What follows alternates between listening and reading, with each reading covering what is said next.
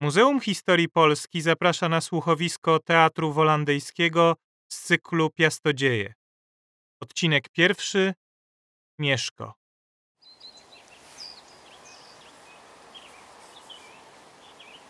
Wyobraźcie sobie razem ze mną dawną Polskę. Nie było w niej dźwięków samochodów, komputerów i wielkich miast. Panowały za to inne odgłosy: szum lasu i śpiew ptaków. Aż pewnego dnia pojawili się tu również ludzie Polanie. Wzięli w opiekę te piękne lasy i zwierzęta, które w nich mieszkały. Urodzajne pola, wartkie rzeki i czyste jeziora. Nie było łatwo tym wszystkim się zaopiekować. Pomyślcie, jak trudno jest prowadzić zwykły dom. Wiecie przecież, ile wasi rodzice muszą się napracować każdego dnia. A tu trzeba było zaopiekować się całym krajem i wszystkimi ludźmi. Było nas wtedy oczywiście o wiele mniej niż dzisiaj, ale to wciąż było bardzo wiele domów. Polanie postanowili więc wybrać sobie władców. Zwołali specjalne zgromadzenie zwane wiecem i długo naradzali się, komu oddać władzę. Ich wybór padł na Piastów. Była to bardzo mądra i waleczna rodzina. I o tej rodzinie i jej historii chcielibyśmy Wam dzisiaj opowiedzieć. Opowiem Wam o trudach, jakie musieli znosić, ale też o radościach, które przeżywali. A dzisiaj pierwsza z tych historii. Historia pierwszego wielkiego władcy Polski Mieszka.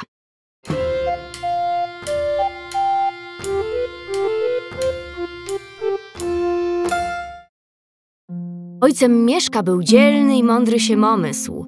Rządził sprawiedliwie, a jego poddani byli szczęśliwi.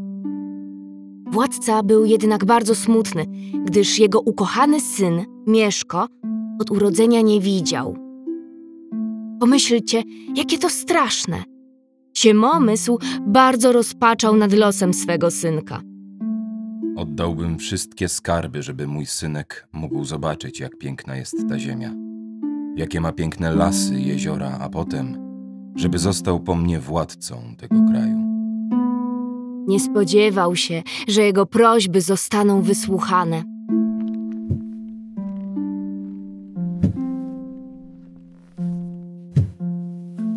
Siemo myślę. Kim jesteś, wędrowcze? Kimś, kto niesie pociechę twemu sercu. Wielka to obietnica. Siemo myślę. Jesteś dobrym człowiekiem, sprawiedliwym władcą i wspaniałym ojcem. Nie martw się. Już niedługo twój synek zacznie widzieć. Wystarczy, by obiecał, że jeśli sam odzyska wzrok, to również i całą twą ziemię i wszystkich twych poddanych wyprowadzi z ciemności. Nie żartuj sobie ze mnie, człowieku. Najwięksi mędrcy oglądali jego oczy. Nikt nic nie poradził. Uwierz, jest siła, która może go uleczyć. Nie musisz nic robić. Już niedługo skończy siedem lat i wyprawisz mu postrzyżyny. Wówczas ujrzysz mnie ponownie. Wtedy otrzyma najlepszy możliwy prezent. Tymczasem bywaj. Żartujesz sobie z mojego cierpienia, człowieku? Stój! Straże! Tak, panie! Pojmać go! Tak jest! Jednak wojowie Siemomysła nie byli w stanie znaleźć podróżnika. Zaś po pewnym czasie ojciec Mieszka uznał, że spotkanie to było jedynie przywidzeniem. Każdy chłopiec, gdy kończył 7 lat, przechodził postrzyżyny. Był to rytuał, podczas którego tata obcinał włosy swemu synowi i tym samym przejmował nad nim opiekę, która dotychczas należała do mamy. Ojciec Mieszka zorganizował z tej okazji wielką ucztę dla swojego syna. Zaprosił wielu wspaniałych gości i przygotował mnóstwo prezentów dla Mieszka. Był tak zajęty, że nie zauważył, że wśród gości pojawił się tajemniczy podróżnik. Zapomniał o nim i o obietnicy, którą podróżnik mu złożył. Cisza! Książę będzie mówił! Dziękuję wam wszystkim za przybycie. Raduje się moje serce, gdyż jak wiecie, za chwilę odbędziemy odwiecznym zwyczajem postrzyżyny mojego ukochanego syna. Mieszku, wystąp na środek. W ten dzień, Mieszku, mój synu, obcinam twoje włosy. Czynię to na znak tego, że przechodzisz pod moją opiekę. Biorę wszystkich bogów na świadków, że jesteś mym dziedzicem i proszę, by mieli cię w opiece. Niech nam żyje Mieszko! Niech żyje!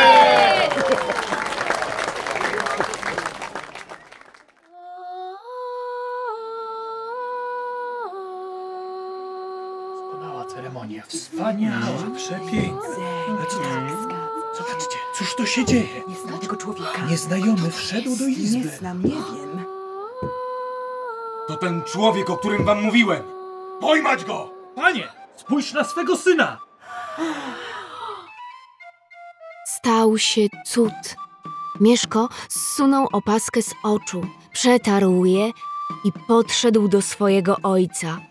Widział, wszyscy wstrzymali oddechy, a w tej ciszy podróżnik, który przed chwilą się pojawił, powiedział: Mieszku, przejrzałeś. Widzisz już na oczy. Teraz spraw, by twoja ziemia też przejrzała na oczy i żeby wszyscy ludzie, którzy tu mieszkają, mogli widzieć. Obiecaj, że wyprowadzisz ją z mroku i oddasz ją w opiekę jedynemu Bogu.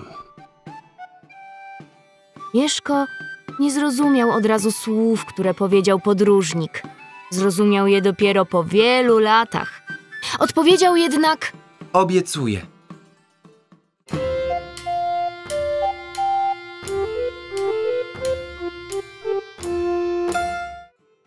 Niedługo później Mieszko został księciem.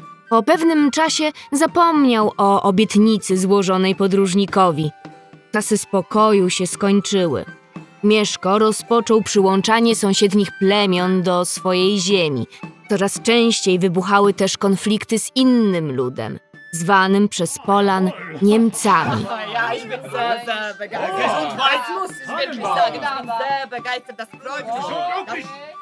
Zostali tak nazwani dlatego, że mówili w innym języku i Polacy nie mogli się z nimi porozumieć. Niemcami rządzili wówczas źli margrabiowie, którzy nie uznawali nad sobą żadnej władzy. Napadali na Polaków i prowadzili z nimi wojny, twierdząc, iż robią to dlatego, że Polacy nie wierzyli jeszcze wówczas w jedynego Boga.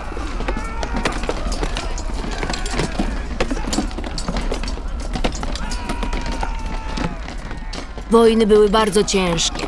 Mieszko razem ze swoim bratem Czciborem walczyli bardzo dzielnie. Udało im się zyskać wiele nowych ziem.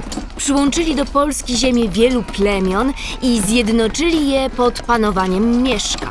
Dzięki wojnie Polska stawała się większa. Ale wojna to najgorsza możliwa rzecz na tym świecie. Mieszko wraz ze swym bratem nie pamiętali już czasów pokoju. Cały czas walczyli, choć nie mieli już siły. Mieszku, nie możemy ciągle walczyć. To ponad ludzkie siły. Teraz nie możemy się poddać. Wszyscy by pomyśleli, że jesteśmy słabi. Margrabiowie niemieccy walczą przeciw nam, bo chcą naszych lasów i pól. Ale mówią wszystkim, że walczą z nami dlatego, bo nie wierzymy w jedynego Boga. A może powinniśmy spróbować w Niego uwierzyć, bracie? Co ty mówisz? Dlaczego mamy się zmieniać? Czci Boże, wiem, że jest ci ciężko, ale... Co się dzieje?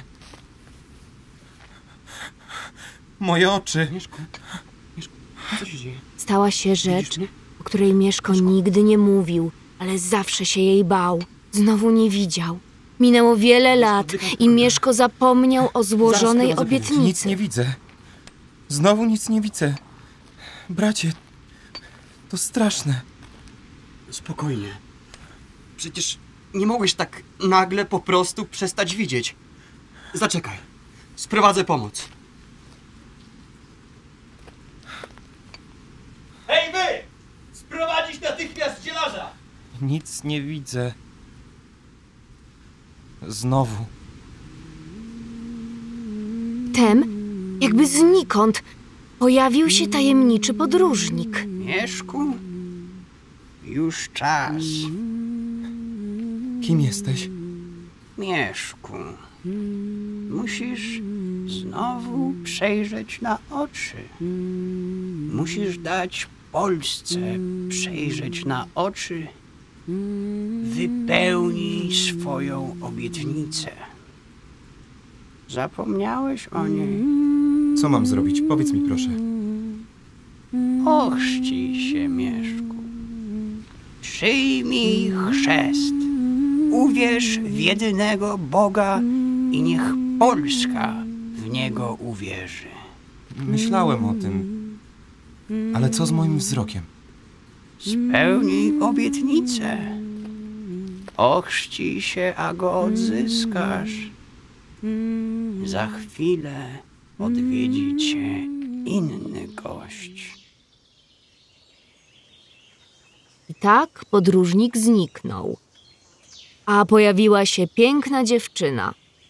Była to Dobrawa, córka księcia Czech. Chodź, pomogę ci. Nie bój się. Masz piękny głos. Nie boję się. Chrztu księcia Polski mogła dokonać tylko bardzo ważna osoba. Z Czech przybył sam biskup Jordan. Ego te baptizo in nomine Patris et Filii et Spiritus Sancti. Amen. Znów otworzyły mi się oczy. Tym razem spełnię obietnicę. Nakazuję teraz wszem i wobec, aby wszyscy, co są mi poddani, przyjęli chrzest. W ten oto sposób Mieszko znowu odzyskał wzrok, a Polacy zaczęli wierzyć w jedynego Boga. Mieszko i Dobrawa wzięli ślub i byli ze sobą bardzo szczęśliwi. Mieszko jednak wciąż musiał walczyć. Źli margrabiowie dalej najeżdżali Polskę. W kilka lat po chrzcie odbyła się wielka bitwa pod Cedynią. Mieszku, musimy odeprzeć ich atak. Jestem wyczerpany. Poprowadź naszych ludzi. Niech Bóg ma cię w swojej opiece. Niestety, to nie był koniec smutków Mieszka. W bitwie pod Cedynią jego brat został bardzo ciężko ranny. Czci Boże! Mieszku! Ja już nie dam rady. Kochany bracie, wytrzymaj jeszcze, proszę! Musisz dalej walczyć sam. Jesteś księciem, ale teraz pomocą Bożą może staniesz się... Bracie! Z Mieszkiem została więc już tylko Dobrawa. Myślał bardzo długo o słowach brata. Polska była wówczas bardzo młodym krajem, takim właściwie dzieckiem, jeszcze niedorosłym, które dopiero uczy się, jak być człowiekiem, takim jak wiele z was. Gdyby Mieszko dostał koronę królewską, to by było tak, jakby wszystkie dzieci dostały wszystkie zabawki, o których marzą. A jak wiecie, nie można dostać od razu wszystkich zabawek, które się chce. Mieszko zastanawiał się nad tym, czy nie chce być królem. Wiedział, że dzięki temu kraj będzie silniejszy i być może uniknie kolejnych wojen. Rozmawiał o tym ze swoją kochaną żoną. Mieszku, mój kochany, po co ci korona? Polska jeszcze nie dorosła, jest jak małe dziecko. Może masz rację, ale margrabiowie... Przez nich nie ma już mojego brata. Nie możesz ciągle walczyć. Może jakbym był królem, nie atakowaliby nas. Twój syn będzie królem. Ty nim nie możesz być. Jest za wcześnie. Dobrawa miała rację.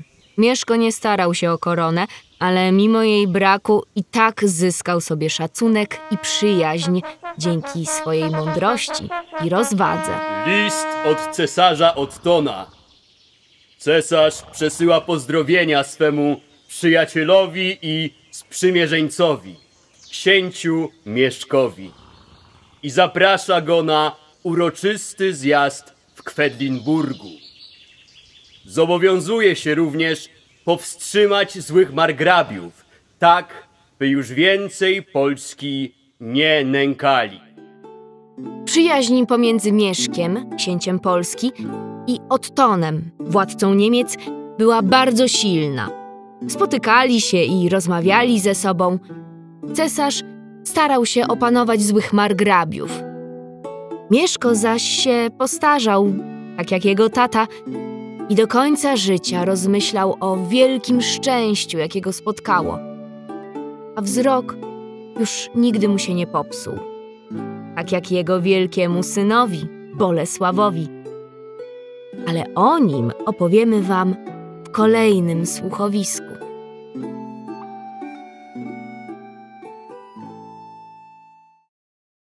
Było to słuchowisko Teatru Wolandyjskiego dla Muzeum Historii Polski.